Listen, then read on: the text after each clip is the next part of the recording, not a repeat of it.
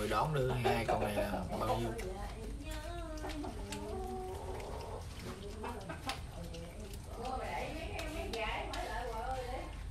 Con này rồi mẹ ơi.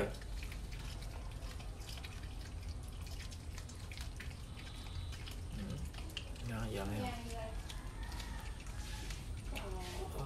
Đón được mấy con này là bao nhiêu?